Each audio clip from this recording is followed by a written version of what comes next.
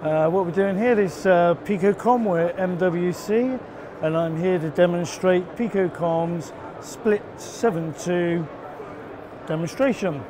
So starting from the top and working down, um, behind me in a server rack I have a core network uh, from our partners Attocore.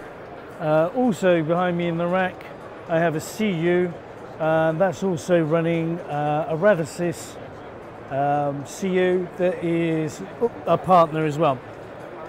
Coming to here, I have a DU implementation, Radisys, layer 1, layer 2 interface to our ORANIC card with a PC802 running the upper PHY.